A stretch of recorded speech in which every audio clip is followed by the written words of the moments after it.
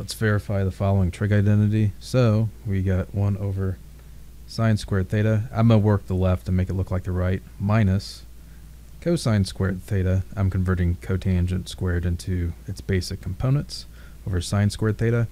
So if you notice here, they both share the common denominator sine squared, so I can convert this to 1 minus cosine squared theta over sine squared theta. So a trig identity, this is actually a trig identity here. So if you look at cosine squared theta plus sine squared theta equals 1, we get um,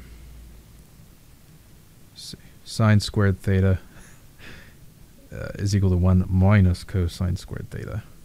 So we have sine squared theta over sine squared theta. And this equals 1, which is equal to 1. And that's it. That's how you prove it. All right. I hope that helped you out. Thanks for watching. Have a great day.